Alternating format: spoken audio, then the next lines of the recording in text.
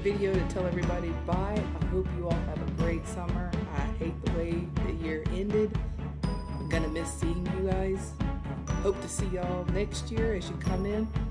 And to my eighth graders who came with me from Compton, I hate that I didn't get to say goodbye to you before you go off to McEachern or wherever you're going.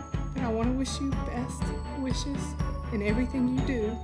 I love you guys. And to my class that I had fifth grade coming up, I'm telling you, I'm going to come find you at McEachern and we're going to do that class photo.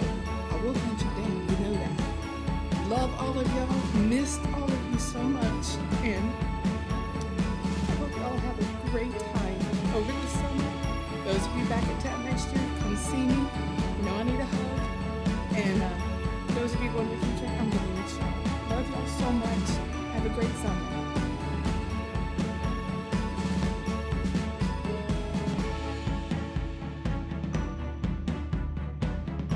What up, Tapp Tigers? This is Dr. Thomas, and I just want to congratulate everyone on completing the 1920 school year. Woohoo!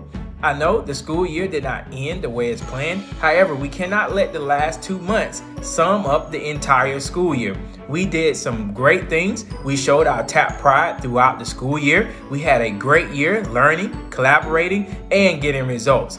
So, everyone have a safe and restful summer. Remember, continue to read, continue to practice your writing, and continue to practice your math. Remember, everybody's going to be in a new grade level when you come back. So, the skills you have now, they're good, but you're also going to need more skills entering next school year. So, once again, be safe and congratulations on completing the 1920 school year. I am very, very proud of all of you.